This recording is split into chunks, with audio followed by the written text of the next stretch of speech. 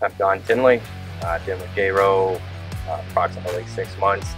What I can really say to describe the place, I don't see myself going anywhere else. One of the best places I've been. Work consistent. Uh, the people I work with here are incredible. Friendly environment. Everybody's like family, pretty much. You know, just do what you got to do and get back and head out again. Pretty much all you do compared to what you know what I'm used to. I mean, that's pretty much all I can really say, to be honest. But you know, it works for me.